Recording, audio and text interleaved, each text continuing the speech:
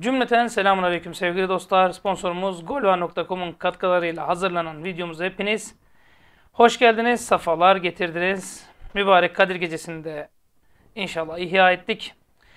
Şimdi bu kısımda Jorge Jesus'tan bahsedeceğim ama önce bir tane kısa bir hikaye anlatmam lazım. Çünkü cuk diye oturacak hani e, şey var ya cuk diye oturacak. Belki bu video 40 dakika sürecek, belki 45 dakika sürecek. Ama rica ediyorum lütfen beğenip arkanıza yaslanın ve e, bütün detaylara hakim olmaya çalışın. Kısa bir hikaye. Hikayemiz şu şekilde. E, Osmanlı topraklarında adamın bir tanesi hayrına bir çeşme yaptırıyor ve çeşmenin üstüne yazıyor. Bu çeşmeden Müslümanlara su içmek haramdır. Yani Müslümanlara su içmek haramdır bu çeşmeden. Tabi ahali görüyor, delleniyorlar. Ulan bu ne diyor Müslüman mahallesinde salyangoz satıyor şöyle böyle falan filan. Ta padişaha kadar çıkıyor. Padişah diyor getirin onu. Buraya getirin öyle kadıya madaya götürmeyin direkt buraya getirin. Hayırdır lan sen ne yapıyorsun falan filan. Neyse getiriyorlar padişahın huzuruna. Diyor ki sen böyle böyle yaptın mı? Yaptım. Bu çeşmeyi yaptıran sen misin? Evet. Yazan sen misin? Evet. Her şey tamam. Bu arada üstündeki formaya da e, imzalı Alex de Souza forması arkadaşlar. Yani şuradan onun, onun biri gözüktü değil mi? Böyle arada sırada da şovumuzu yapalım. İşin şakası bir tarafa. Sen miydin bunu yapan? Evet bendim. Peki niye yaptın? Padişahım diyor. Sizden bir şey rica ediyorum. Üç şey isteyeceğim. Üç şeyi yapın. Cevabı vereceğim. Padişah meraklanıyor. Nedir diyor. Hemen diyor. Bugün diyor.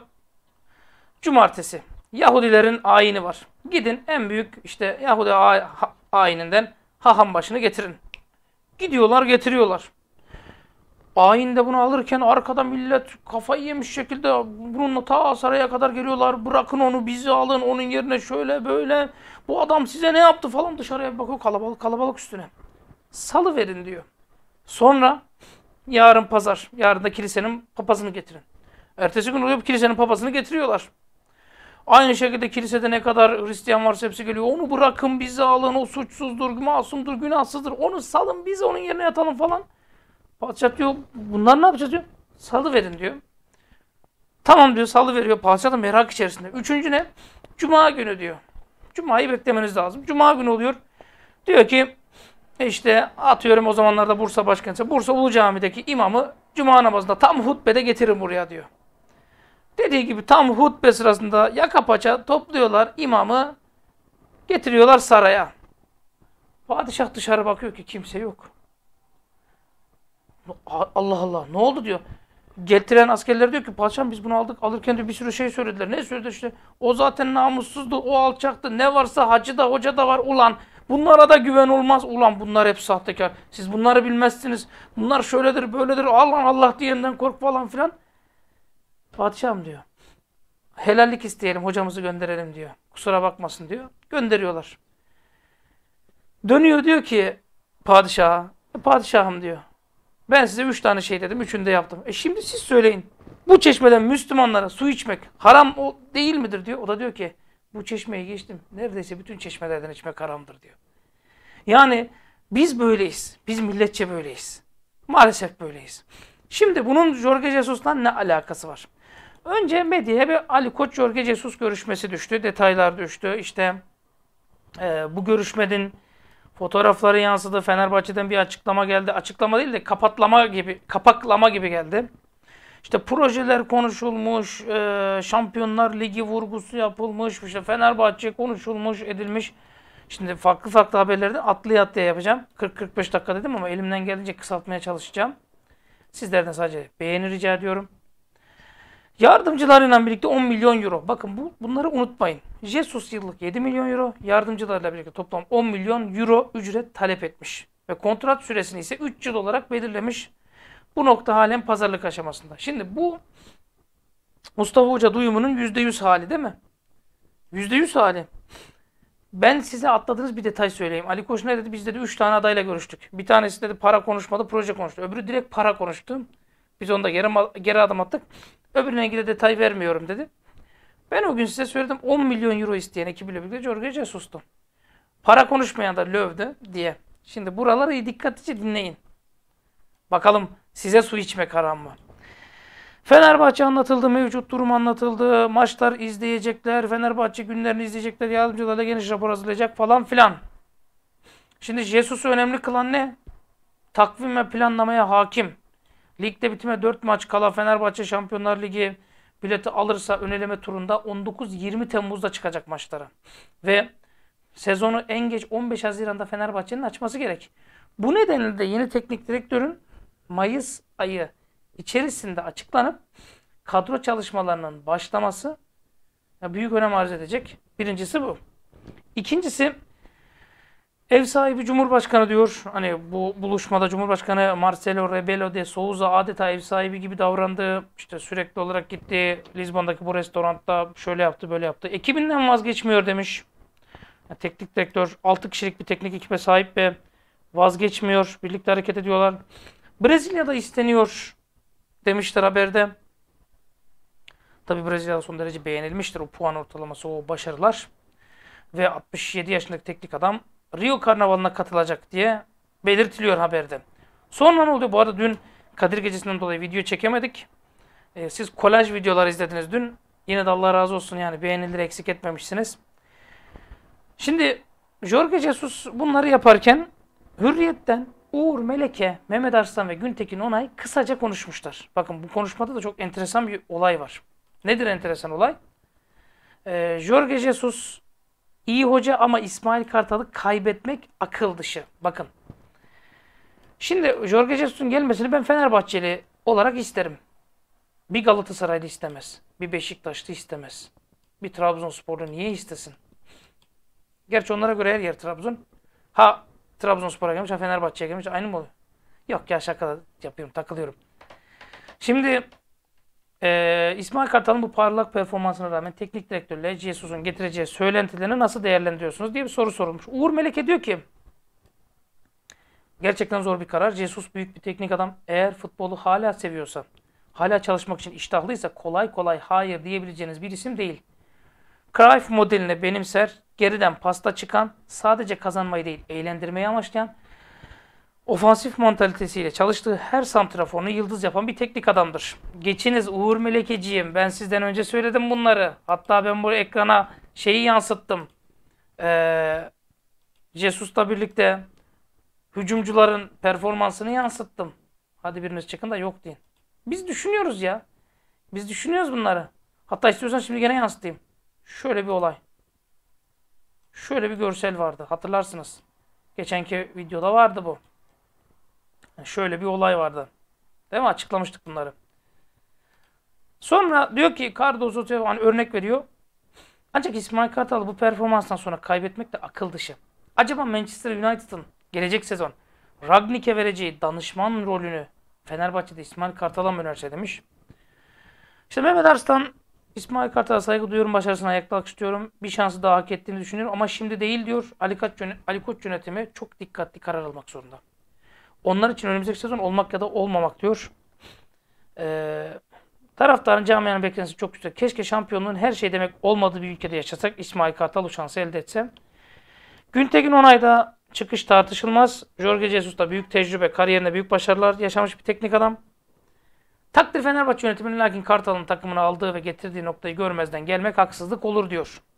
Şimdi Mehmet Demirkol diyor ki çok iyi teknik zeka, çok zor bir kişilik. Bu da önemli bir olay. Bakın bu çok çok önemli bir olay. Aslında ben size Jorge Jesus şöyle tanımlayayım. Tam Aziz Yıldırım'ın Obradoviç modeli. Yani tam Aziz Yıldırım futboldaki Obradoviç modeli. Çünkü Mesela Mehmet Demirkol e, çok iyi teknik adam diyor. Şimdi Jesus'a itiraz olmaz. Yani hiçbir itiraz olmaz. Kimse de edemez. Çalışkan, futbolu yaşayan, doymayan bir futbol zekası. Deha mı? Bunu söyleyen de var. Buna da çok itirazım olmaz. 2009'dan bu yana 2 puan ortalamasının altına hiç düşmedi. 2009'dan bu yana. Yani daha fazla övgüye gerek yok. Ama soru işaretleri de var. Yıldızlarla sorunlar. Çünkü zor bir kişilik. Hani bir taraftan disiplinleriyle övgüyü hak ediyor. Diğer taraftan da bu sıkı disiplin özellikle bazı yıldız oyuncularla sorun oluşturabiliyor. Fenerbahçe'nin elindeki oyuncu grubuyla bu nasıl örtüşür? Ben şunu söyleyeyim. Fenerbahçe bir model belirle, belirledi. Bence al, yıldızlaştır, sat. Fenerbahçe'ye dikkat edin son zamanlarda gelen yıldızların hiçbiri işe yaramıyor. Yıldızların hiçbiri. Sosa işe yaradı mı? Novak. O da yıldızdı. Değil mi? Samatta da yıldızdı. Belçika'da yıldızı parladı. Değil mi? Berisha da yıldızdı. Bence yıldızdı o yaşına rağmen. Bir düşünün. Bak kimin beklentisi düşükse o daha çok iş yapar. Mesela Mesut da yıldızdı. İrfan da yıldızdı. Bence. Bak kimin beklentisi? Salah'ın beklentisi düşüktü. Burak Kapacak ikincilikte yıldızdı. Hani hani tam kıyaslamıyorum bunu yanlış anlamayın. Ee, birkaç istisna var tabii ki de. Hani yıldız diye alıp da coşan. Ama bence Yıldız'da konu sıkıntı yaşamaz. İkim transfer konusu. Çünkü geniş bir transfer isterse sürpriz olmaz. Hatta tersi sürpriz olur. Hani Brezilya macerasına bakın. Fenerbahçe ikinci olursa Temmuz'un ortasında eleme oynayacak. Dolayısıyla Haziran başında sezon açmak lazım. Geniş bir transfer bu kadar kısa zamanda nasıl yapılacak? Nasıl kadro boşaltılacak? İki yüksek ego Ali Koç'la nasıl anlaşacak? İkisinde ego yüksek. Ya onun yönüne bakarsak belki başkan tamamen futbol işinden çekilecek. Yoksa Pereira'da olduğu gibi üçlü oynamak hata derse düşünemiyorum bile diyor. Ekibini ister. Kendi ekibini. Yeterli bulur mu? Hani eldeki genç parlak yeteneklerin birini yeterli bulmama ihtimali de yok değil. E, söz dalaşı başlar. Basınla rakiple herkes de söz dalaşına gireceği kesin. Tabii ki de bu istenen bir olay. E, kariyerinin sonuna doğru yüksek transfer bütçeleri istediğini, en iyi ortamda eli rahat olarak çalışmak istediğini de biliyoruz. E, kulüpte bu imkan var mı? yani kısaca son olarak kolay bir yol değil.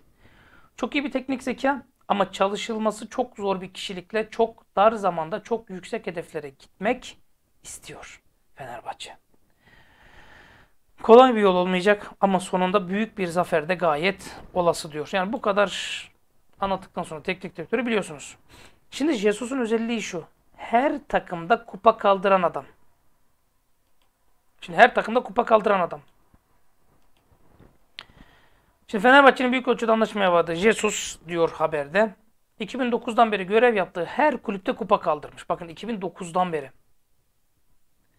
Ve yıllardır bir hayal süre geliyor. Bu hayal gerçekleşecek gibi diyor. Portekiz'de gidildi, görüşüldü.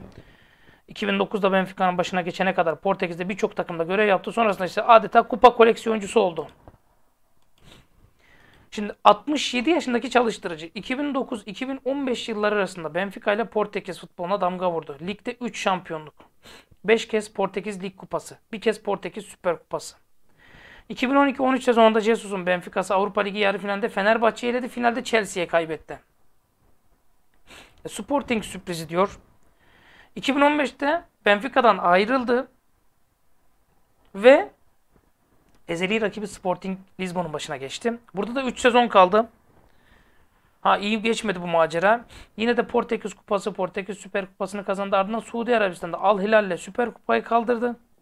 2019-20'de Brezilya'ya geçti ve sadece bir sezon çalıştırdığı Flamengo ile ortalığı kastı kavurdu. 67 yaşındaki çalıştırıcı tek sezona Brezilya Ligi, Kupa Libertadores, Recopa Sudamerica ve Brezilya Süper Kupası şampiyonluğunu sığdırarak Flamengo tarihine geçti. İkinci dönemi başarısız diyor. 3 Ağustos 2020'de Benfica'ya geri döndü ancak ikinci macerası istediği gibi gitmedi. Geçen sezonu Sporting ve Porto, Porto'nun ardından 3. sırada bitirdi. Jesus bu sezonda işleri yoluna koyamadı. Şampiyonlar Ligi'nde Barcelona'yı geride bırakıp gruptan çıksalar da ligde beklenen sonuçlar gelmedi ve takım içinde yaşadığı sıkıntılar nedeniyle 28 Aralık'ta görevinden ayrıldı. Forvetleri gol makinesi yapıyor. Artık bunu anlatmaya gerek yok. Yani Cardozo 233 maçta 133 gol. Jonas 35 maçta 31 gol. Hani Bastos 90'da 70. Az önceki liste yani. Değil mi? Kariyeri olaylarla dolu. Bizim Türk medyası çok sever. Medyatik adamı çok sever. Yani hemen her takımda önemli başarılar elde ediyor. Böyle bir teknik adam. Yani her hemen hemen her takımda önemli başarılar elde ediyor. Ancak yaşadığı sıkıntılar da var. Oyuncularla anlaşma konusu hani Vitória Guimarães oynanan Portekiz Kupası final maçının öncesi Oscar Cardozo 1-0 öndeyken kendisini 70 dakikada kenar alan Jesus sert bir şekilde itti. Benfica finali 2-1 kaybetti. Paraguaylı forvet maçtan sonra hocasından takımdan özür diledi. 2017-18 sezonda ise Sporting kabus gibi bir olay yaşadı. Takımın ligi 3. sırada bitirmesinin ardından Sporting ve oliganlar antrenman tesislerini basıp herkese saldırdı. Jesus yardımcısı Raul Jose ile birçok oyuncu olayda yaralandı. Ya Jesus da dahil. Ve o Portekiz hoca takımdan ayrıldı. Son Benfica ma- macerası da krizle sonuçlandı.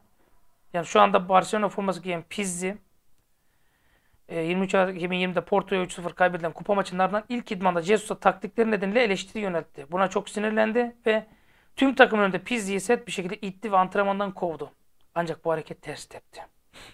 Tüm oyuncular Jesus'u protesto edip soyunma odasına gitti. Bu olay sonrası Benfica Jesus ile yollarını ayırdı. Ve aynı Jesus'tan Fenerbahçe ve Ali Koç açıklaması. Şimdi buraya kadar ne anladınız? Sorunlu bir adam. Sıkıntılı bir adam. Değil mi? Ters tepebilir.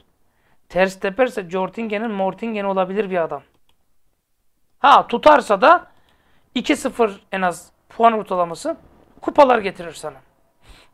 Tabii ki gönül ister tutsun. Ama neyi? Neyi tutsun? Şimdi Jesus'tan Fenerbahçe ve Ali Koç açıklaması gelmiş. Neymiş o açıklamalar? Jesus'tan geçen aç- gelen açıklamalar. Rio Karnavalı ve Flam- Flamengo maçları için Brezilya'ya gitmiş.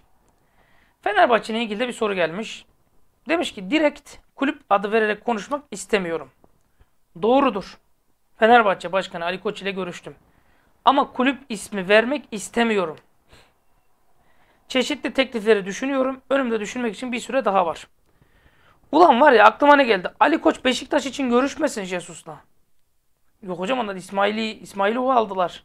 Olsun. Barcelona ile yakın ilişkilerim var diyor. Barcelona için görüşmüş olmasın. Juventus'ta ilişkilerim var. Juventus için görüşmüş olmasın Ali Koç. Siz de sazan gibi o Jesus geliyor falan. Oğlum ister misiniz Juventus'ta Juventus için görüşsün? Yok artık hocam saçmalama ya o imkansız. Emin misiniz? Hocam öyle mi gerçekten? Şu an kafanıza şeyi verdim. Adam direkt kulüp adı vererek konuşmak istemiyorum. Fenerbahçe Başkanı Ali Koç'ta görüştüm diyor. Fenerbahçe için görüştüm demiyor ki.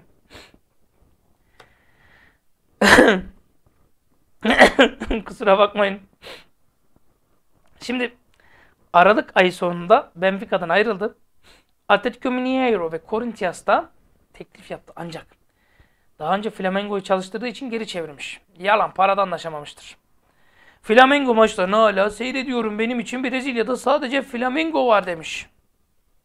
Tabi. Hayvanat bahçesinde sadece Flamengo kuşları var. Yardımcılarıyla birlikte 10 milyon euro bakın bu haberde de diyor kendisi 7 yardımcıları 3 istiyor toplamda 10 milyon euro yani yaklaşık 160 milyon TL talep etti.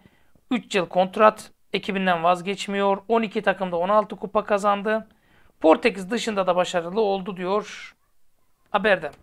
Şimdi Jesus'un çalıştırdığı takımlar Amora, Felgoirias, Estrela, Vitoria Guimares, Morirense, Lehiriria, Liria, Belenenses, Braga.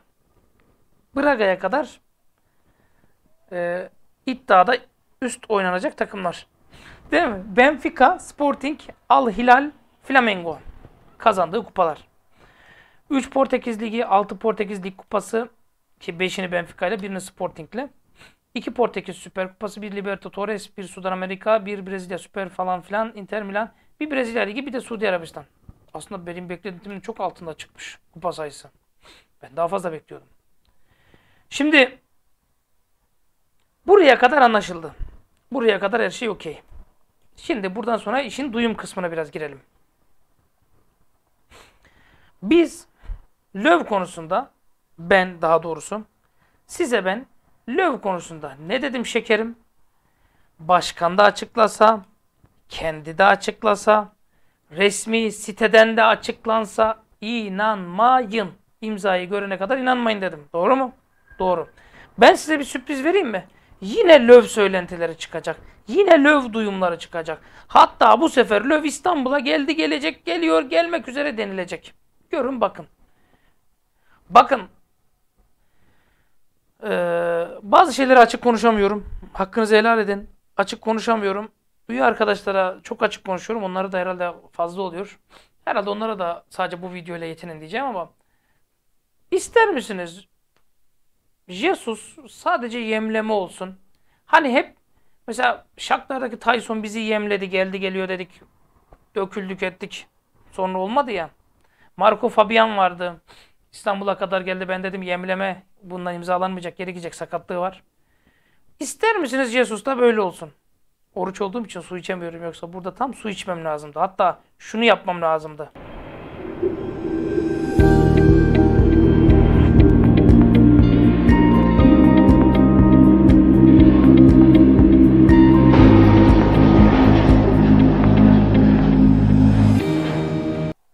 Yani umarım anlatabildim. Şimdi Ali Koç Je- Jesus'la görüşüyor. İnsanlar diyor ki İsmail Kartal'ı kaybetmek akıl dışı. Şimdi insanın aklına şu geliyor. Ulan korkuyorlar mı acaba? Değil mi? Acaba korkuyorlar mı? Şöyle bir olay var. Ee, Fenerbahçe'nin açıklamasına bakın. Dikkat edin. Yani Portekiz'in işte e, ünlü bir restorantında tanınmış bir mekanda Jesus'la Cumhurbaşkanı ile birlikte yemek yiyip boy boy fotoğraflar verip sonra ne diyor biliyor musunuz? Limit yeni spor yasası Financial Fair Play.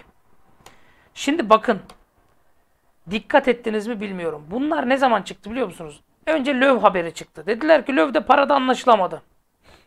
Aylardır görüşülüyor Löv'de anlaşılamadı. Şimdi Jesus yine parada anlaşılamadı diyor. Ben size sıradakini de söyleyeceğim. Ama dur önce şunu söyleyeyim.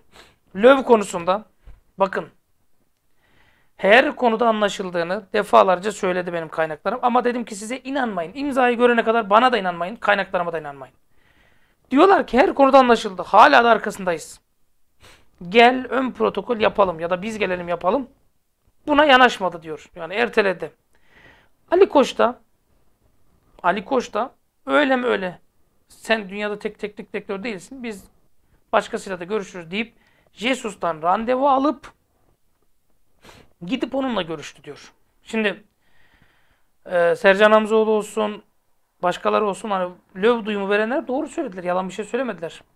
Hatta e, löv Galatasaray maçından sonra açıklanacaktı. O arada ön protokol yapılıp. Ama olmadı. Ben diyorum ki size şu an benim baktığım yerden söylüyorum. Benim baktığım yerden sanki Jesus olmayacak. Löw karar değiştirecek. O da değil. Benim baktığım yerden direkt İsmail Kartal. Başka hiçbiri gözükmüyor. Çok açık ve net söylüyorum. Benim baktığım yerden İsmail Kartal gözüküyor. Başka hiç kimse gözükmüyor. Ha, şimdi duyum işi böyledir. Akşamına Löv der ki Ali Koç'ta yarın yüz yüze görüşmemiz lazım. Ali Koç'un şeyi uyar. Bir araya gelirler. Mukavele neredeydi imza atmak istiyorum der. Bu iş böyle. Duyum işi böyle. Duyum işi böyle. Yarın Jesus Flamengo'ya gitti. Flamengo teknik direktörünü kovup işte gel hazır gelmişken imzala deyip imzalattırabilir. Bizden daha iyi teklifler de çıkabilir. Yalnız ben şuna takılıyorum. Limit yeni spor yazası diyor bak açıklamada. Yani lan bu adamla sen aylardır görüştün. Jesus'la. 10 milyon euro istediğini biliyordun. Sadece para konuştu dedin. Jesus'tu para konuşan. Sen bunu bile bile adamın yanına gidiyorsun. Ben Fenerbahçe taraftarının keklendiğini anlatıyorum size. Dakikalardır. 23 dakika, 24. dakika bitmek üzere dakikalardır diyorum sizi kekliyorlar. Spor yasası. Ulan açıktan verirsin gene para verirsin. Ne, ne saçmalıyorsun sen? Cebinden verdiğin paraya spor yasası karışmıyor. Bilginiz olsun. Ali Koç Başkanım cebinden çok para verdi. Kulübümüzü yükseltti diyor. Bir tane hızlı konuşunca altyazı istenen bir arkadaş var, bir abi var. Hızlı konuştuğunda gerçekten anlaşılmıyor. Bir de sinirlendiği zaman anlaşılmıyor. O diyordu cebinden çok para verdi. 100 milyon, 100, 100, 100 milyon dolar para, para verdi diyordu mesela. Hiçbir şey yok ortada.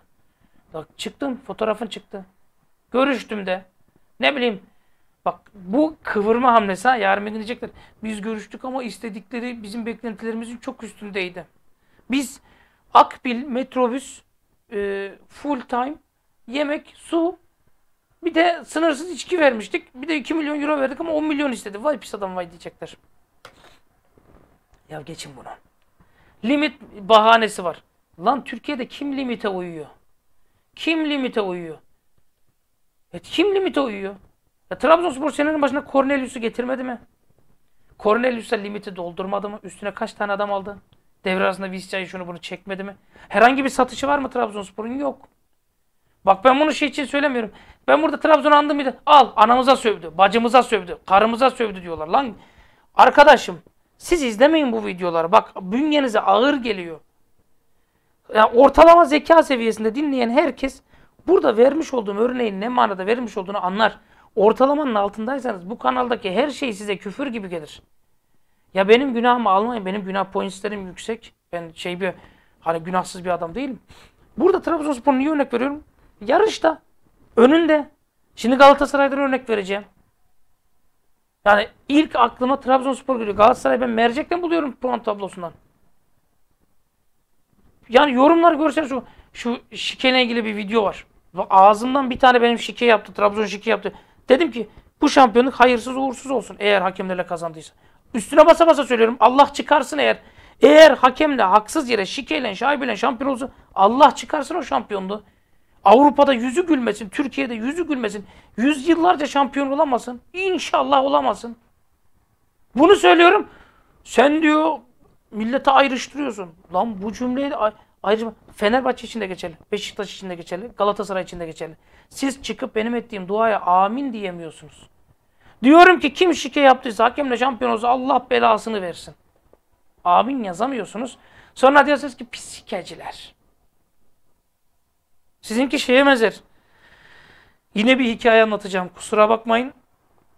Bir cami var cemaati böyle çok tutkun hocasına falan. Hoca anlatıyor duanın gücü şöyledir böyledir falan filan. Yanlış anlaşılmasın burada duanın gücünü az bile anlatıyoruz. Caminin karşısında birisi arsa satın alıyor. Arsaya bir inşaat başlıyor. Hayırlı olsun selamun aleyküm aleyküm selam. Ne yapıyorsunuz buraya? Çok özür dilerim ama kötü işlerin yapıldığı bir ev yapıyoruz diyor. Yani kötü ev. Cemaat delleniyor nasıl yaparsınız bunu ulan karşıda cami var şöyle böyle falan filan. Oraya şikayet buraya şikayet araya emiceler dayılar heleler teyzeler dayılar onlar bunlar olmuyor. Bakana kadar gidiyorlar olmuyor adamın arsası. Hiç, hiç kimse karışamaz diyor. İmam topluyor milleti. Ulan bari de dua edelim. Allah'tan dua edelim. Rabbim sen bunu bu iş yerini açtırtma. Rabbim başlarına yık. Şöyle ol böyle ol falan filan. Amin. Dükkanın açılacağına bir gün kala inşaat çöküyor. Cami cemaati memnun. Bak ne kadar temiz duygularla namaz kılıyoruz. Bizim gibi namaz kılan da "Aa, olmaz falan. Adam bunları mahkemeye veriyor. Bunlar dolaylı olarak benim iş yerimi yıktılar. Tazminat istiyorum diye. Mahkeme günü geliyor. Adam dava açmış. Cemaat de diyor ki la saçmalamayın duayla yıkılır mı? Şimdi bir tarafta Allah'a inanmayan günahkar, şey Allah'a inanan, duaya inanan, duanın gücüne inanan, duayla nelerin olabileceğine inanan günahkar. Öbür tarafta Allah'a inanan, işte beş vakit namazını kılan eden cami cemaati ama duaya inanmıyor. Belki de dolaylı olarak Allah'a inanmıyor. Böyle bir ikilem işte. İşte Fenerbahçe ile Trabzonspor arasındaki ikilem de aynı böyle. Hocam hangimiz Allahsızız diyeceksiniz. Ya arkadaş örnek vermeye korkuyorum. Bir taraf diyor ki 2010-2011 şampiyonu işte şu takımdır. Öbürü şike yapmıştır diyor. Öbür takıma da şimdi söz hakkı doğuyor. O da diyor ki 2022-2023 o zaman bizim. Onlar şike yaptı. Yani 2010-2011 temiz diyen varsa ki Fenerbahçelilerin hepsi bunu söylüyor. O zaman 2022-2023'e de konuşamazsınız diyor öbürleri de. Bu da bir görüş. Öbürleri diyor ki Fener orada şampiyon, burada Trabzon şampiyon diyor. Farklı görüşler. Ama aynı dediğim gibi birisi duanın gücüne inanan şey, öbürü duaya inanmayan şey. Hani bu sadece bir örnek. Dediğim gibi Trabzon bir isça çekti. Devre arasında bir sürü isim çekti. Galatasaray 30 milyon euro açık verdi. 30 milyon euro. Kimi sattı? Beşiktaş kimi sattı? Yıllık ücretlere bakın o başlıyor ay falan 4'e geldi 4'e 4 4.5'a geldi. Piyaniç 4 750 falan alıyor. Şampiyonlar Ligi parasını üstüne yaptılar adamdan haberiniz yok. Sonra diyorlar ki limit var spor yasası. E, Trabzon'a da var. Galatasaray'a da var. Beşiktaş'a da var. Cebinden veremesin demiyor ki ver cebinden. Şov yaparken yapıyorsunuz 50 milyon dolar verdik. Biz olmasak kimse sponsor olmayacak. He ya. Getir cebinden Jesus'u getir. Getir Jesus'u getir. Ben koçum diyorsun. Göster koçluğunu. Millet seni niye seçti? Hayır bak şimdi acıdığım gibi konuşuyorum ama yanlış anlaşılmasın bak kardeşim. Millet seni niye, niye, niye seçti ya? Ya ya abi sen bak hayır bak kardeşim sen Aziz Yıldırım'ı deviriyorsan Ali Koç'sun ya. Değil mi? Aziz Yıldırım bunları söylerken haklıydı. Seni millet Ali Koç'sun diye seçti. Ahmet Mehmet diye seçmedi. Ahmet Mehmet diye seçecek olsak Oktay Uludoğan'ı seçerdik. Gayet şirin, sempatik bir kardeşimiz. Karizmatik. Yakışıklı. Yani. Ya etmeyin eylemeyin ya. Şimdi spor yasası. Bak kıvırıyor farkında değil misiniz? Ali Koç kıvırıyor, yönetim kıvırıyor. Uyumayın. Şimdi sosyal medyada şeyler var. Lev diyenler patladı. Ben size cesus demiştim. Yarın cesusçular patlayacak. Biz size cesus demiştik. Ta en başından beri cesus demiştik. Sil tweet sil sil sil sil sil. Ver cesusu. Hocam senden tweet siliyor musun? Ney? Oğlum bana şey gibi konuşmayın lan. Sansür, sansürlü konuşmayın bana düzgün konuşun. Hocam sen de tweet siliyor musun? Ben e, şeyleri siliyorum. Haber videolarının linkini atıyorum. Sonra siliyorum onları karışıklık olmasın diye. Arada sırada da toptan siliyorum eskileri. Ama benim tweet silmeme şuna buna gerek yok ki. Video burada. Tarih burada. Lan daha, daha ne kayıt olacak? Daha ne delil olacak? Videolu şekilde burada. Ha hocam. Şey. Oğlum Ahmet, Mehmet gibi konuşma ama doğru konuşun. Anladınız mı? Şimdi ben size diyorum ki bence Löw Jesus'tan bir adım önde İsmail Kartal hepsinden 6 adım önde. Eğer İsmail Kartal kalan maçlarında 4'te 4 yaparsa İsmail Kartal'la seneye devam ki. Herkese de Odri meydan. Ali Koç'un kendine de Odri meydan. Ya sen eğer bir de şu var. Kulübün mali yapısına uymayan adamla orada görüştün. İsmail Kartal bu kadar başarılıyken takımı sabote ettin hem de Beşiktaş maçından önce. O zaman sen hainsin Ali Koç. Sen, sen Fenerbahçe'nin Beşiktaş'a yenilmesi için, Gaziantep'e yenilmesi için dümen kurdun. Sen Fenerbahçe'nin başarısını çekemiyorsun Ali Koç. Hadi size. Alın size bir kaya. Nere, al sana bir kaya. Nerene dayarsan daya. Olacak iş miydi? Şimdi görüşülecek zaman mıydı? Hadi. Hocam ne zaman konuşacağız, görüşeceğiz? 15 Haziran'da lig bitiyor. Senin az önce haberde okudun. Şampiyonlar Ligi geliyor. Basına niye sızdırıldın? Bir de ben şunu söylüyorum. Ali Koç Selahattin Baki ile bir yere görüşmeye gidiyorsa iptal. İptal. Kesinlikle olmaz. Olacağı varsa da olmaz. Olacağı varsa da olmaz. Bizim kaynağım diyor ki sen diyor Ali Koç Selahattin Baki haberi gelince diyor hayırlı olsun iptal diyorsun diyor. Kimse çakmadı bugüne kadar diyor. Vardır ya çakanlar. Anladınız değil mi? Ya uzun konuştum ama anladınız değil mi? Sen eğer bu fotoğrafı da sızdırdıysan Ali Koç sana yazıklar olsun. Ya sana yazıklar olsun. Fenerbahçe Başkanı bu hallere düşmemesi lazım. E bırak abi çek o zaman. Aydınlar gelsin, Şahin gelsin, Ülker gelsin. Ulan Fenerbahçe'nin adını Fenerbahçe Ülker yapıyorum. Senelikte 50 milyon euro veriyorum desin. Bak bakalım neler oluyor. 3-5 hesabı. Ha bilginiz olsun. Gustavo 3,5, Sosa 1,5, 5. Mesut 4. Etti sana 9 milyon euro. Ne aldın? Bunlar geldi geleli hangi tenekeyi aldın kulübe? Ataşehir mis misyonu. Değil mi? Bir de Ataşehir misyonu çıkmış. Veseli 3.2. Dekola 3.5. Bartel 1.8. Polonaro 1.5. Gerardini 2. Booker 1.5. Sadece burası 13.5. Yani çok ilginç değil mi? Ama hocam dün kondisyon antrenörü Marcio Sampoyo bugün de Mario Monteiro Fenerbahçe'yi takip almış Instagram'dan. Hayırlı olsun diyelim mi hocam? Oğlum Tyson da Fenerbahçe'yi takip aldı. Kimdi? Ben Arfa da aldı. Öbürü de aldı. Ya Fenerbahçe taraftarındaki bu sazanlığı anlamıyorum ya. Siz niye bu kadar sazansınız ya? Siz niye atlıyorsunuz her şeye ya? Ahmet Ercanlar ne dedi? Fenerbahçe'nin %99.9 yeni teknik direktörü Roger Schmidt dedi. Demedi mi? Dedi. Hain herifler. Hainler. Bu arada Benfica Roger Schmidt'in yeni teknik direktör olduğunu açıklamış. O bilgiyi de verelim de. Unutmadan. Hainler. Hainsiniz. Araştırılması lazım FETÖ'cü müsünüz diye. Bir de o var. Aa ya ben bu bu yanılgıya ben de çok düşüyordum. Ben çok şükür ben bundan vazgeçtim. Siz de vazgeçin. Hatta size benden tavsiye kimseye FETÖ'cü demeyin. FETÖ'cü mü diye düşünmeyin. Benden size tavsiye. Çünkü en FETÖ'cü adama bakıyorsun. En FETÖ'cüsüne bakıyorsun.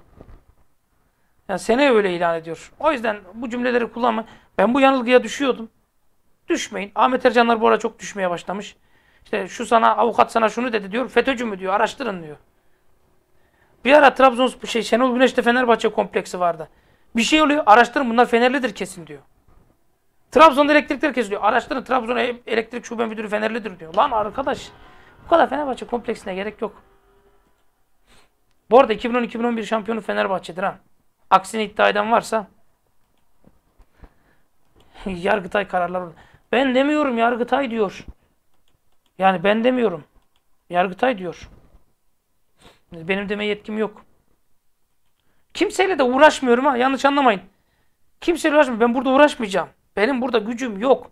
Siz arkanıza birini alın. Milletvekili alın. işte belediye başkanı alın. Şunu alın bunu alın. Kimi al? Yani benim burada gücüm yok. Ben burada gariban bir insanım. Gariban bir öğretmenim. Ha memleket aşığı bir insanım. Allah aşığı bir insanım. Öyle olmaya çalışıyorum. Öyle evlatlar yetiştirmeye çalışıyorum. Çok fanatiksin. Ulan salak. Buradaki benimle sınıftaki ben bir miyim geri zekalı. Bilişim çağındayız. Aptal herif. Bilişim çağındayız. Siz zannediyor musunuz benim e, öğrenci velilerim falan YouTube kanalımdan haberdar değiller.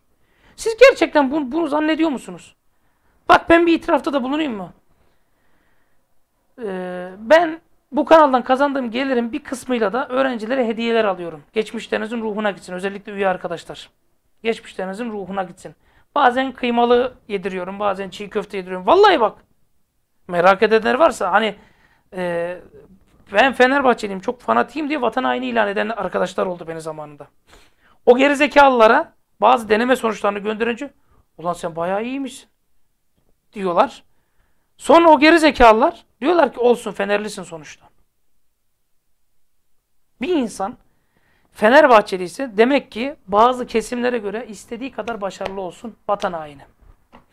Ben de diyorum ki vatanını en çok seven, en çok seven ona en çok hizmet edendir. En çok hizmet edendir. Kim vatanına en çok hizmet ediyorsa en, en iyi vatansever odur. Kim de vatanını sevenlere karşı zorluk çıkarıyorsa en büyük vatan haini odur. En büyük karaktersiz, namussuz, alçak odur. Cehennemin dibine gidecek kişi odur. Anlatabiliyorum değil mi? Yani anlatabiliyorum. Bu arada Ramazan bitsin. Yine inşallah öğrencilere hediyeler var. Kitaplar falan alıyoruz. Gerçi Antalya'dan bir abimiz var. Kitaplara sponsor olacaktı. Bazı kitaplar alacaktık çocuklara da unuttu İsviçre dönüşünde. Bilmiyorum taş gitti mi acaba? Taşı gönderdik herhalde değil mi? Neyse gitti taç. Taş gitti. Ee, son olarak Jesus'tan cevap bekleyen Fenerbahçe'den Pepa hamlesi. Bakın siz busunuz Fenerbahçe taraftarı. O kadar ümitler üzerinde, o kadar bulutlar üstünde geziyorsunuz ki. O kadar bulutlar üstünde geziyorsunuz ki. Her çıkan habere inanasınız geliyor. Bak Allah şahidim. Ağzım oruçtu. Sesim kısık. Ben düzgün hani dört dörtlük bir adam değilim arkadaşlar. Hani dinini yaşamaya çalışan sıradan bir insanım. Ben de sizler gibiyim. Ee, çok güzel hareketler izleyince falan ben de gülüyorum. Bir de duygusal bir adamım. Gerçekten çok duygusal bir adamım. Yani o filmleri izleyince gözü dolan türden bir adamım. Ben de sizin gibi bir adamım.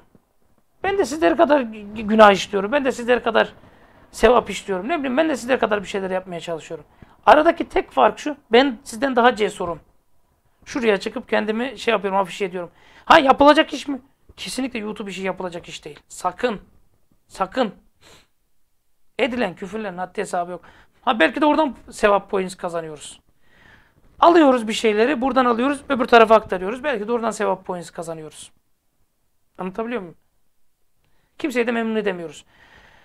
Ben elimden geldiği size doğru duyumları vermeye çalışıyorum. Benim piyasadaki duyumculardan tek farkım bu.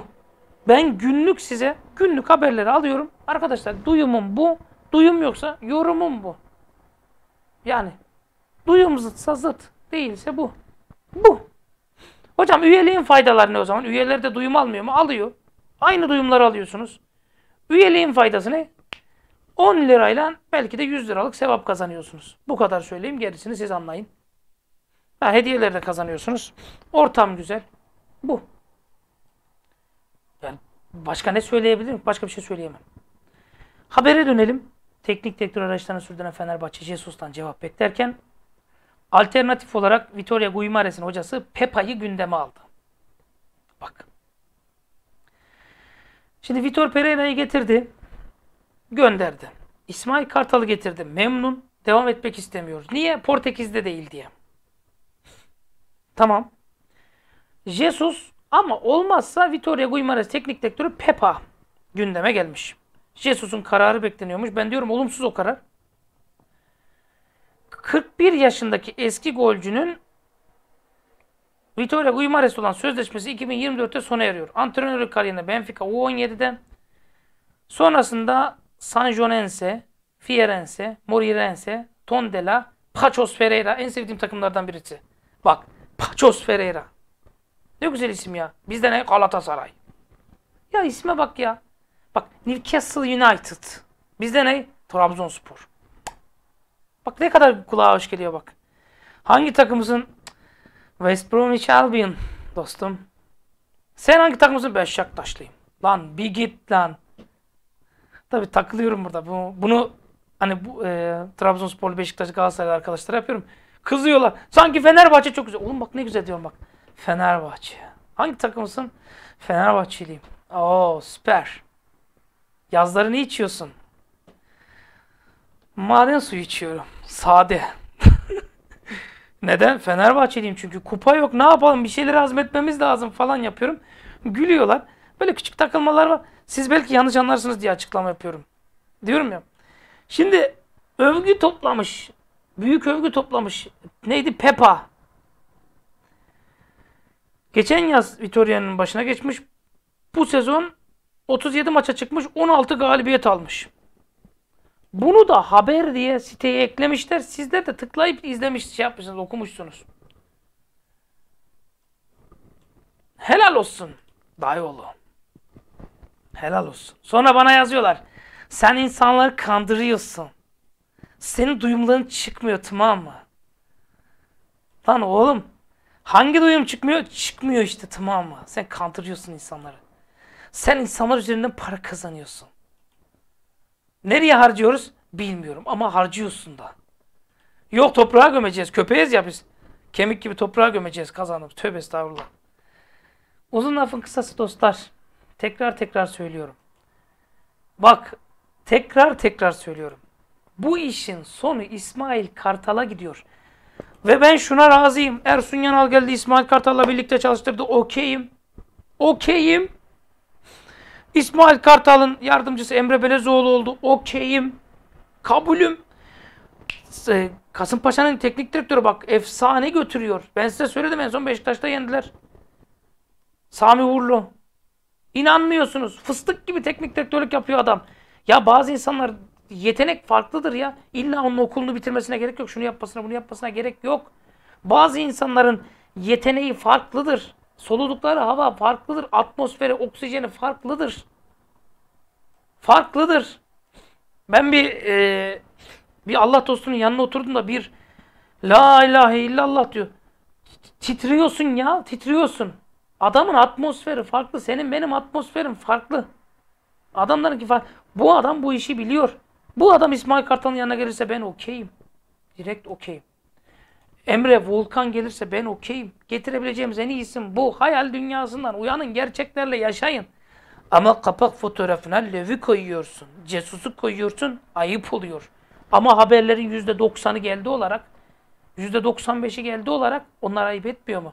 Başka türlü size nasıl anlatayım? Nasıl izah edeyim? Kapağı yazsam Löw gelmiyor. Bakın Jesus iptal yazıyorum. 1.7 izleniyor. Jesus'la görüşme detayı diyorum. 5000 izleniliyor. Sonra diyorlar ki bana göreceğiz hangisi gelecek. Göreceğiz hangisi gelecek. Ben diyorum abi İsmail Kartal dışında teknik direktör falan beklemeyin. Bak bizim başkanımız Cimri. Bizim başkanımız Pinti. Bir de İsmail Kartal ne güzel bir adam. Forvet istiyorum. Evet ben de istiyorum. Ama Sayın Ali Koç Forvet şart bu takıma. Evet kesinlikle şart. Ben de katılıyorum. Selahattin Bey de katılıyor değil mi Selahattin Bey? Evet katılıyorum. Araştırmalarımıza göre Sheffield United'ın da forvete ihtiyacı var. Bitti. İsmail Kartal bu. Jesus sana diyecek ki forvet istiyorum. Git de alma hadi. Alma da göreyim fotoğrafını.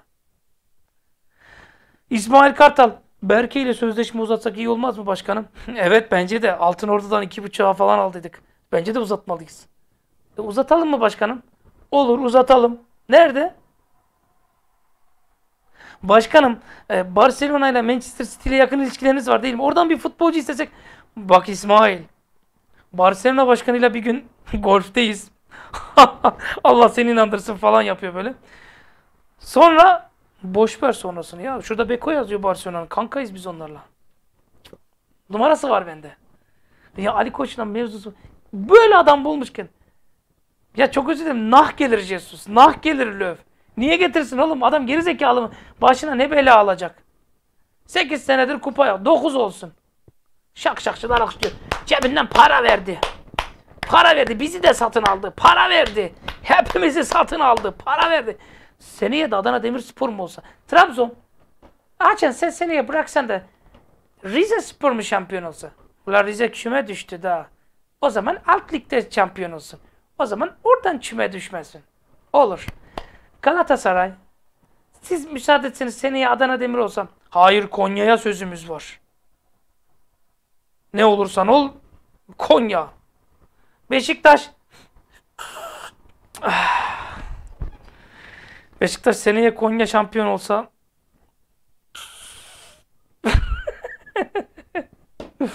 yani rakipler dünden lazım.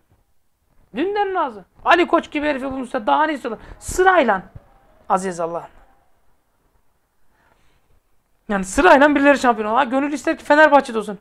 Ben devlet yetkililerimizden, takım başkanlarından rica ediyorum. Bakınız 150 milyon dolara düşmesinin sebebi tamamen Fenerbahçe'nin beceriksiz yönetilmesi. Sizlerin de, ya devlet yöneticilerine demiyorum, spor otoritelerine diyorum yanlış anlaşılmasın.